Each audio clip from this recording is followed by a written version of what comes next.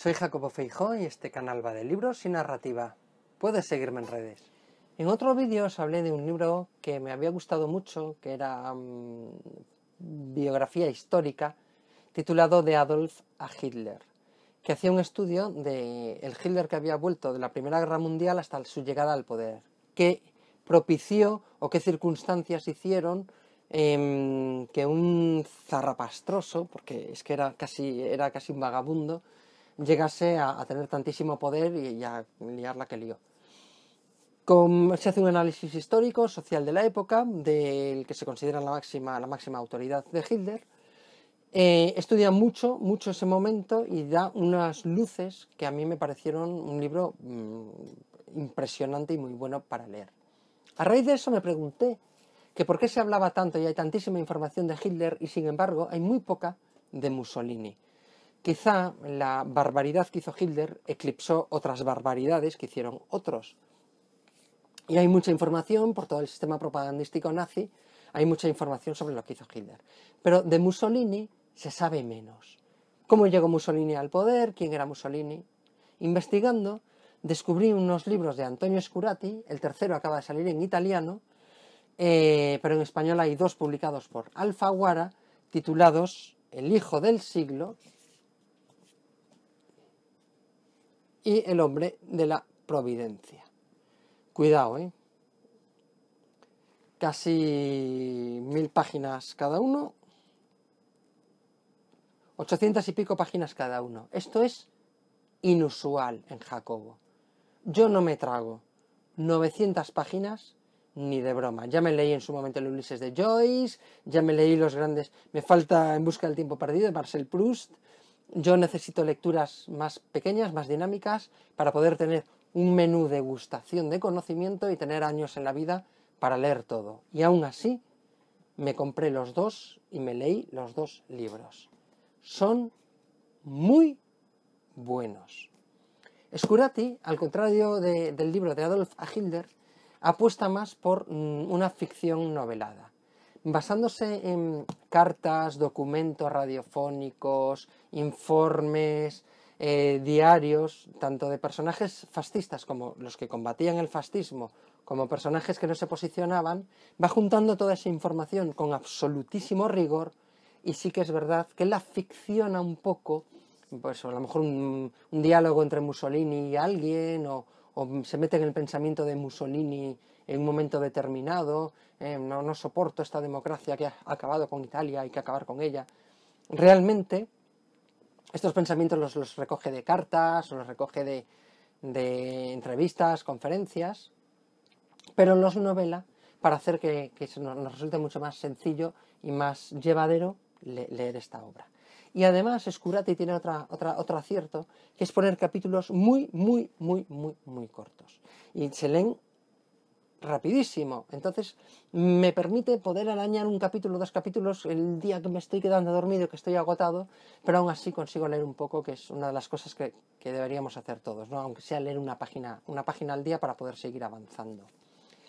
El hijo del siglo contempla, creo que es hasta el año 30, 30 y algo, y después el, el hombre de, de, la providencia es el año 30 y algo al año 30 y no sé cuánto. Y ya nos quedamos a las puertas de la Segunda Guerra Mundial. Ya está Italia con todos sus experimentos en, en Abisinia, en Libia y toda su guerra colonial. Eh, y yo creo que ya va a empezar la Guerra Civil Española en, creo que se acaba en el 34 y el que acaba de salir en italiano ya debería contemplar la, mm, participación italiana en la Guerra Civil Española, toda la guerra en África y el inicio de la Segunda Guerra Mundial. Em, como os digo, la lectura se hace muy, muy amena, el, autor es, dinámico, leyéndose, eh, aporta un rigor profundo de, cómo fue la llegada al poder de Mussolini, al igual que la de Hilder, llama la, atención, ¿no? determinadas cosas y advierte de determinados peligros para que no vuelvan a ocurrir y que desgraciadamente mm, veo a diario y me da miedo, veo caminos parecidos a cómo se llegó a estas situaciones. Y, por supuesto, pues la, encuadernación, edición y, maquetación de Alfaguara está muy bien, papel ahuesado, buen gramaje, tacto correcto, mm, una maquetación muy ordenada, muy limpia, que ayuda a, a la lectura. Una buena encuadernación, que a veces libros de este grosor, aunque no os lo creáis, se caen las páginas. Me ha pasado con otras editoriales muy grandes cuyos nombres no voy a decir. Aquí está muy, está muy bien, se puede abrir razonablemente bien sin que se rompa. Eh, no tengo ninguna, ninguna, ninguna queja. Son 24,90 euros el hijo del siglo y 22,90 el hombre de la providencia. Merece la pena, merece la pena. Los valen, bien, bien vale el dinero. No es precio hoy en día. Cualquier gadget informático, cualquier dos, tres cervezas que invites a unos amigos ya son 20 euros. Eh, me han gustado mucho los libros, solo le achacaría dos cosas narrativamente. Una, que es inevitable, hay tal cantidad de personajes, tal cantidad, todos con apellidos muy italianos, que puede llevar a la confusión. ¿no?